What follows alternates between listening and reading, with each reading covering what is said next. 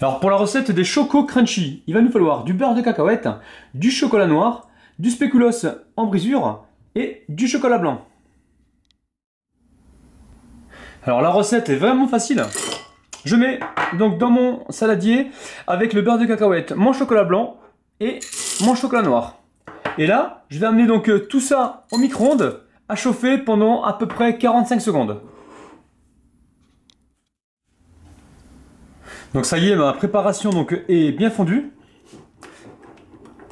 Il reste quelques petits morceaux, c'est pas gênant. Voilà, je mélange comme il faut.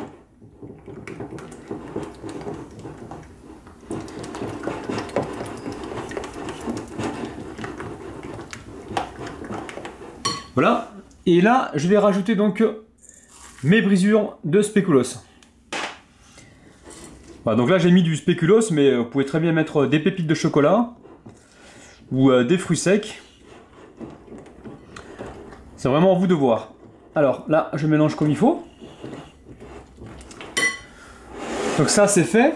Alors ici, j'ai un récipient donc que j'ai humidifié et par-dessus, j'ai posé donc du papier film. Alors, Là, je vais verser donc ma préparation dedans.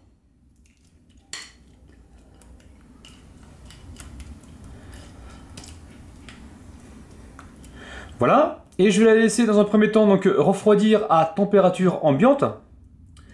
Et ensuite, je la mettrai direction le frigo pour à peu près une à deux heures. Il faut vraiment que ça soit bien bien froid pour qu'on puisse donc le découper assez facilement.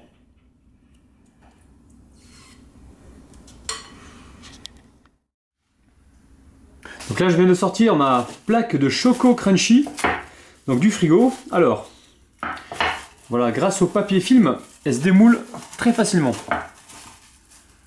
Voilà, on a une plaque de chocolat donc bien brillante. Alors, on va passer donc à la découpe. On va essayer de couper des petits carrés. Après, vous la coupez vraiment comme vous voulez. Hein. Voilà.